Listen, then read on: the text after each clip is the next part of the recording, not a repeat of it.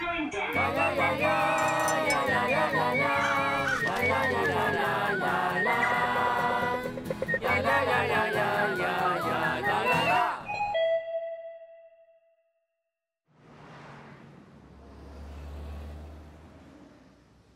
years, ah? And you never thought about having kids?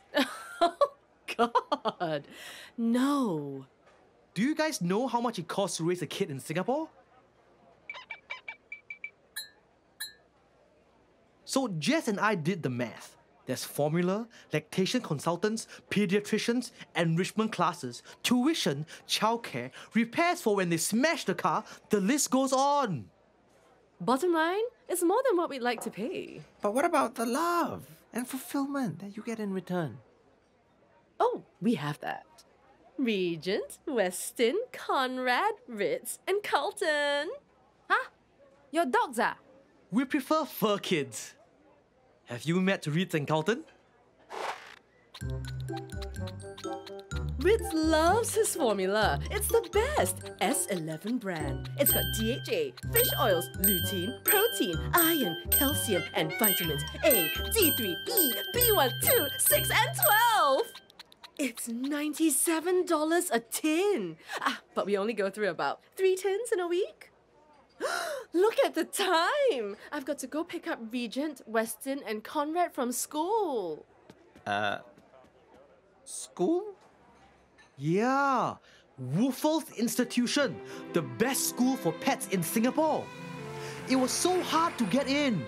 We had to volunteer at the school to even stand any chance. We considered other pet schools like St. Pets and Cat High, but we only wanted the best. And we had to fight for it, man.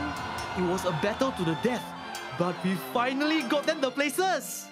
So, uh, what's the school fees like, huh? Just $2,000 a month.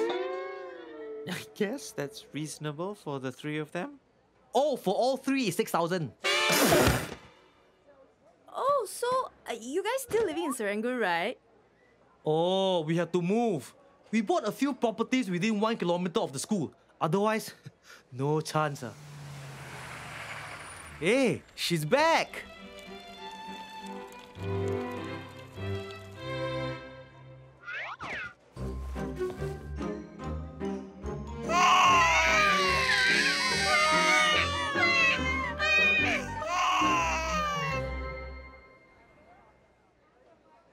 You move house, volunteered, pay about $6,000 for school fees and $1,000 for formula every month, and employed two maids? Don't forget the nanny. Right, nanny! How could I have not known? So, all that, and you don't want to have kids. Like I said, it's too expensive to raise a child in Singapore. Crazy expensive! Who could afford it?